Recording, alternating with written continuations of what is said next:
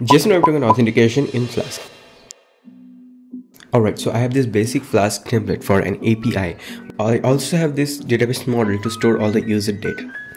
Alright, so the first thing I'm going to do is create a login route to login user into our application. So to do that, I'm going to take input from user, which will be email and password. After taking input, I'm going to make sure that the user already exists. And then the first thing I'm going to do is I'm going to create an access token using this create access token and the identity will be the email provided by user. And after that we're going to just return the access token to user. Create and register route. Now in register route it's going to be pretty simple. We're going to take user input then we will just store that data into a database model. So the first thing i'm going to do is register myself email and password. I'm going to send the post request to the login route see it's returning me this access token